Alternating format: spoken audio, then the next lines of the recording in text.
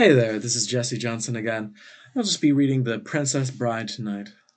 Just picking up during chapter 1 from where I left off. He took 17 minutes. I just hung on, listening.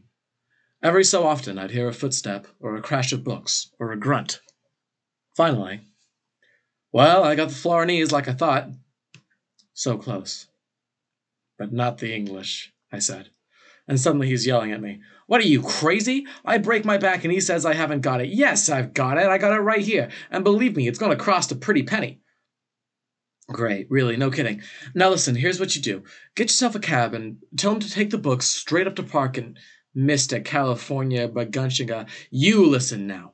It's coming up a blizzard, and I'm going no place, and neither are these books without money.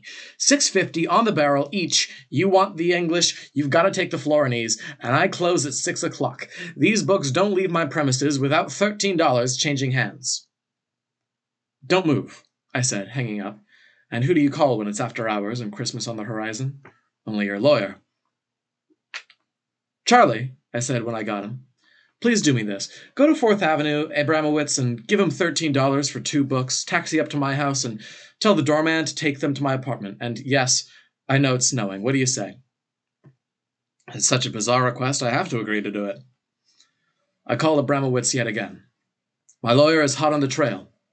No checks, Abramowitz said. You're all heart. I hung up and started figuring.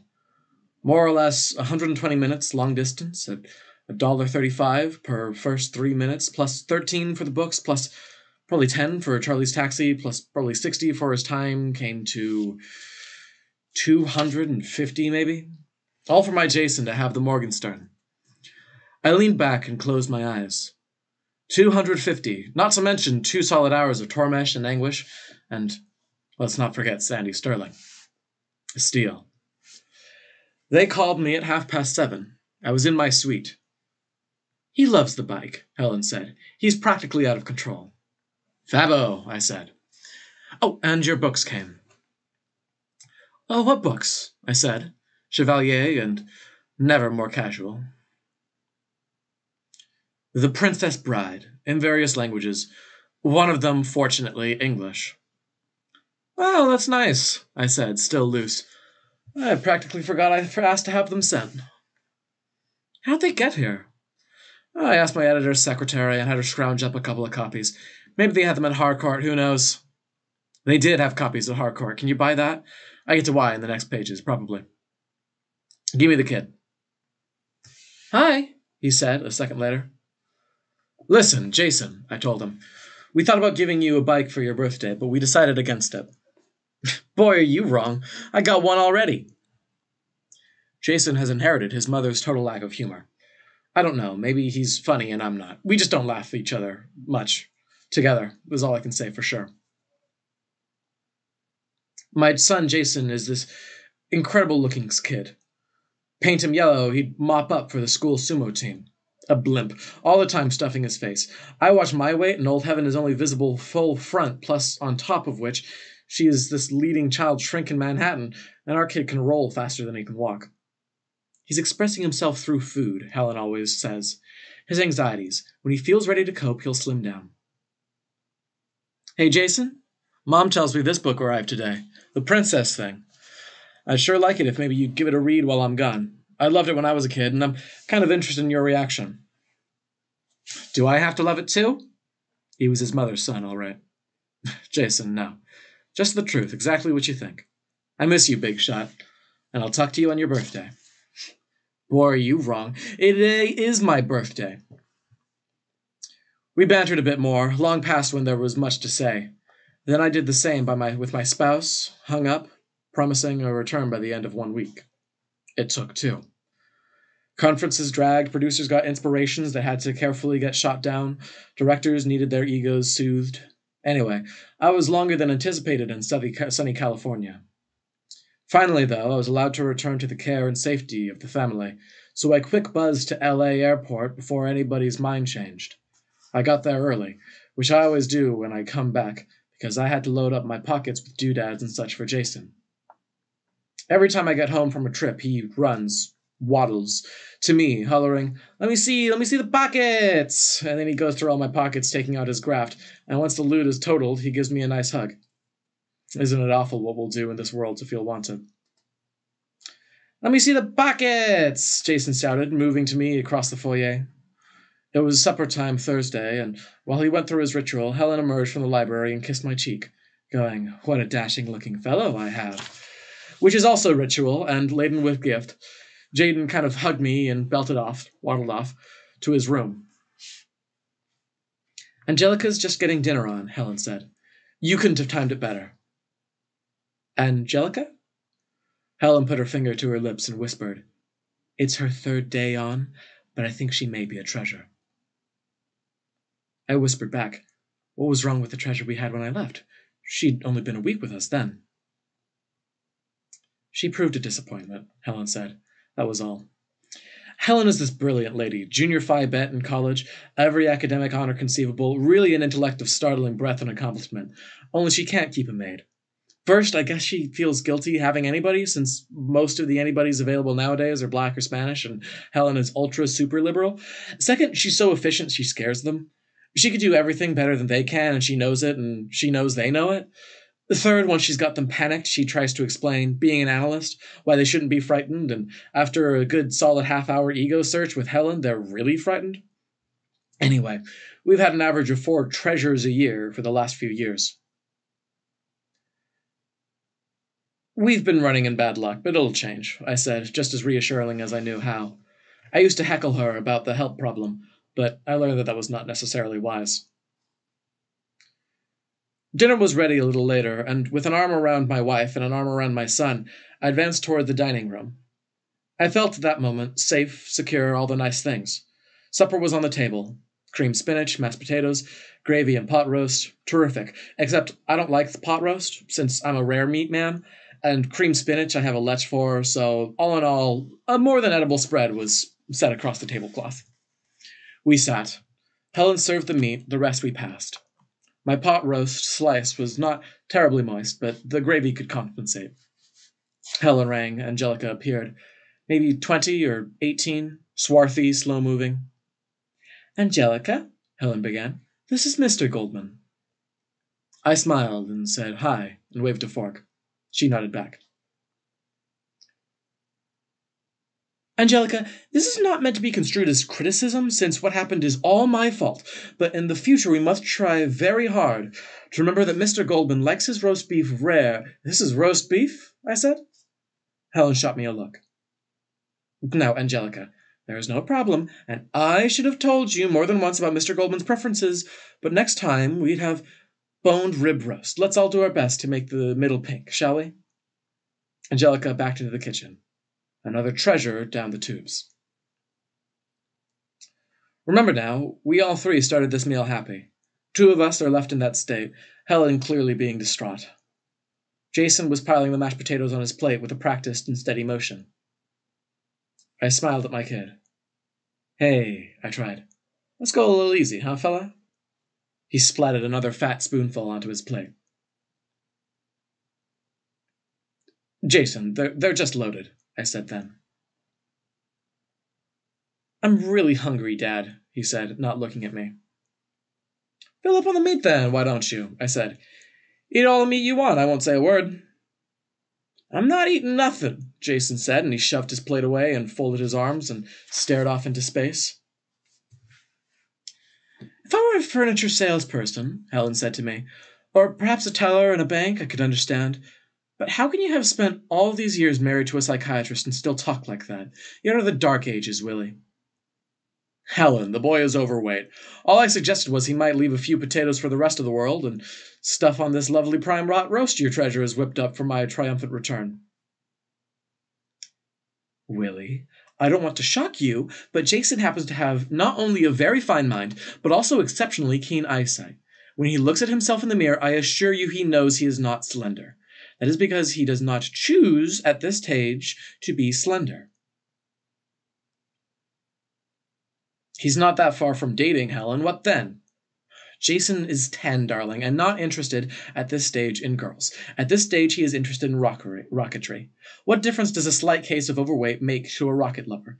When he chooses to be slender, I assure you he has both the intelligence and the willpower to become slender. Until that time, please, in my presence, do not frustrate the child. Sandy Sterling in her bikini was dancing behind my eyes. I'm not eating, and that's it, Jason said then. Sweet child, Helen said to the kid in that tone she reserves on this earth only for such moments. Be logical. If you do not eat your potatoes, you will be upset, and I will be upset. Your father clearly is already upset. If you do eat your potatoes, I shall be pleased, you shall be pleased, your tummy will be pleased. We can do nothing about your father. You have it in your power to upset all or one, about whom, as I have already said, we can do nothing. Therefore, the conclusion should be clear. But I have faith in your ability to reach it yourself. Do what you will, Jason. He began to stuff it in. You're making a poof out of that child, I said, only not loud enough for any but me and Sandy to hear. And then I took a deep, deep breath, because whenever I come home, there's always trouble, which is because, Helen says, I bring tension with me. I always need inhuman proof that I've been missed, and that I'm still needed, loved, etc.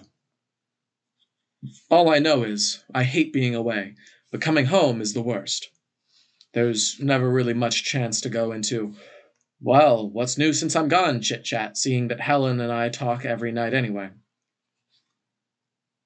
I bet you're a whiz on that bike, I said then. Maybe we'll go for a ride this weekend. Jason looked up from his potatoes. I really loved the book, Dad. It was great. I was surprised that he said it, because naturally I was just starting to work my way into that subject matter. But then, as Helen's always saying, Jason ain't no dummy. Well, I'm glad, I said, and was I ever? Jason nodded. Maybe it's the best I've ever read in all my life. I nibbled away at my spinach. What was your favorite part? Chapter one, the bride, Jason said. That really surprised me. Not that chapter one stinks or anything, but there's not that much that goes on compared with the incredible stuff later. Buttercup grows up mostly, is all. How about the climb up the cliffs of insanity? I said then. That's in chapter five. Oh, great, Jason said. And that description of Prince Humperdinck's Zoo of Death? That's in the second chapter. Even greater, Jason said. What knocked me out about it, I said, was that it's this very short little passage on the Zoo of Death, but yet somehow you just know it's going to figure in later. Did you get that same feeling? Um, hmm? Jason nodded. Great. But I knew he hadn't really read it. He tried to read it, Helen cut in. He did read the first chapter. Chapter two was impossible for him, so when he'd made a sufficient and reasonable attempt, I told him to stop. Different people have different tastes. I told him you'd understand, Willie. Of course I understood. I just felt so deserted, though. I didn't like it, Dad. I wanted to. I smiled at him. How could he not like it? Passion, duels, miracles, giants, true love. You're not eating the spinach either? Helen said. I got up. Time change. I'm not hungry. She didn't say anything until she heard me open the front door. Where are you going? she called then. If I'd known, I wouldn't have answered. I wandered through December. No topcoat. I wasn't aware of being cold, though. All I knew is I was 40 years old, and I didn't mean to be here when I was 40, locked with this genius shrink wife and this balloon son. It must have been nine o'clock when I was sitting in the middle of Central Park, alone, no one near me, no other bench occupied. That was when I heard the rustling in the bushes. It stopped. Then again. Very soft. Nearer. I whirled, screaming, Don't you bug me! And whatever it was, friend, flow, imagination, fled. I could hear the running, and I realized something. Right then, at that moment, I was dangerous.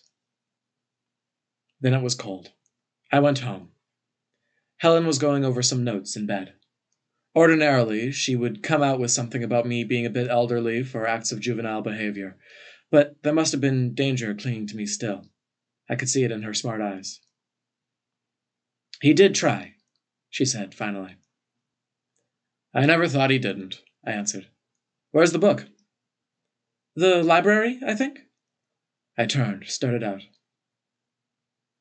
Can I get you anything? I said no. Then I went to the library, closed myself in, hunted out The Princess Bride. It was in pretty good shape, I realized as I checked the binding, which is when I saw it was published by my publishing house, Harcourt Brace Jovanovich. This was before that.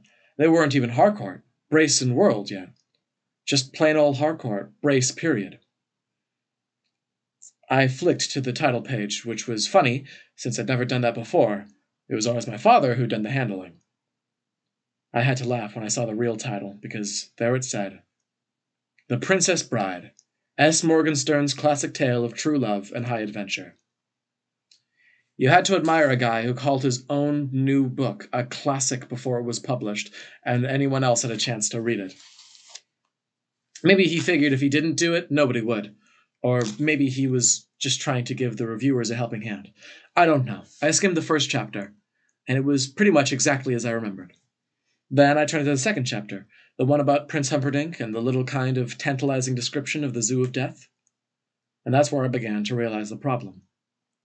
Not that the description wasn't there, it was, and again, pretty much as I remembered it, but before you got to it, there were maybe 60 pages of text dealing with Prince Humperdinck's ancestry and how his family got control of Florin and this wedding and that child begetting this one over here who then married somebody else. And I skipped to the third chapter, the courtship.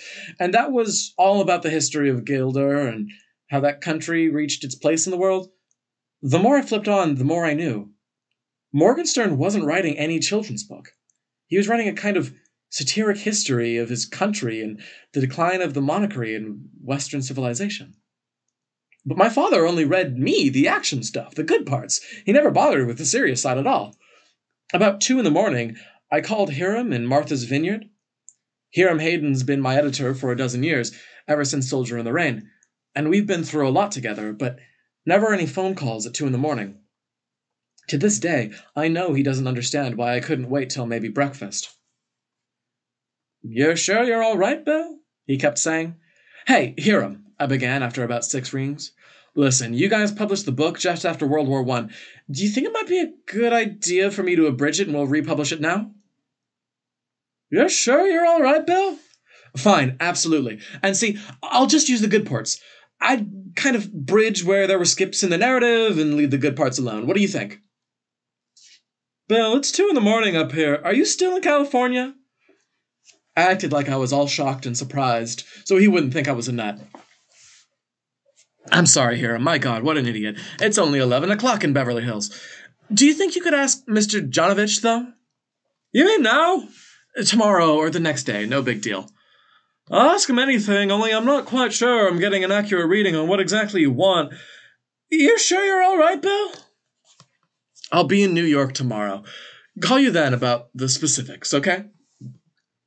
Could you make it a little earlier in the business day, Bill? I laughed and we hung up, and I called Zig in California. Everett Ziegler had been my movie agent for maybe eight years. He did Butch Cassidy deal for me, and I woke him up too. Hey, Zig, could you get me a prop- uh, postponement on the Stepford Wives? There's this other thing that's come up. You're contracted to start now. How long a postponement? I can't say for sure. I've never done an abridgment before. Just tell me what you think they'll do. I think it's a long postponement. They'd threaten to sue, and you'd end up losing the job. It came out pretty much as he said. They threatened to sue, and I almost lost the money and some money, and didn't make any friends in the industry, as those of us in showbiz call movies. But the abridgment got done, and you hold it in your hands. The good parts version. Why did I go through all that? Helen pressured me greatly to think about an answer. She felt it was important. Not that she knows necessarily, but that I know. Because you acted crackers, Willie boy, she said. You had me truly scared. So why? I never was worth beans self scrutiny. Everything I write is impulse. This feels right, that sounds wrong, like that. I can't analyze, not my own actions, anyway. I know I don't expect this to change anybody else's life the way it altered mine. But take the title words True Love and High Adventure. I believed in that once. I thought my life was going to follow that path. prayed that it would. Obviously, it didn't, but I don't think there's high adventures left anymore. Nobody takes out a sword nowadays and cries, Hello, my name is Inigo Montoya. You killed my father. Prepare to die. And true love you can forget about too. I don't know if I love anything truly anymore beyond the porterhouse at Peter Luger's and the cheese enchilada at El Parador's. Sorry about that, Helen. Anyway, here's the good parts version. S. Morgenstern wrote it, and my father read it to me, and now I give it to you. What you do with it will be of more than passing interest to us all. New York City, December 1972. Okay, so that fully completes the introduction to the story.